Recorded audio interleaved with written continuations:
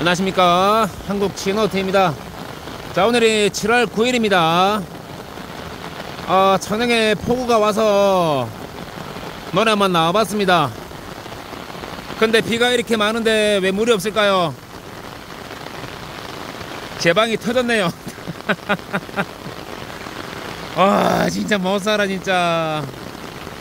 옆에는 강이 있어서 여기 5월 초에 준설했거든요. 강 준설.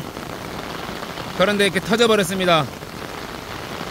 와, 이 비도 이렇게 많이 오는데 이거 큰일 났네요, 이거. 아, 참, 이 가마렵다.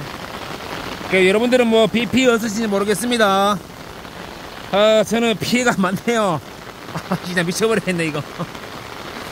뭐, 창녕에도 비가 많이 오니까, 이렇게 비 올 때는 밖에 나가시면 안 됩니다.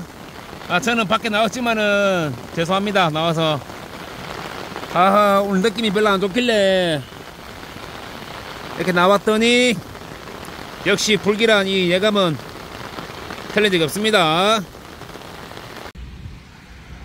자, 요, 못 살겠네, 진짜. 일단 요 신고를 해놨으니까 저도 이거 원상복구가 되도록 조치를 좀 취해야 될 것 같습니다. 자, 비가 많이 올 때는 나가지 마시고, 뭐, 안전한 곳에, 어, 안전한 곳에 이제 확인하시기 바라겠습니다. 자, 창녕으로 비가 많이 오니까 어, 소식 좀 전해드립니다. 자, 감사합니다.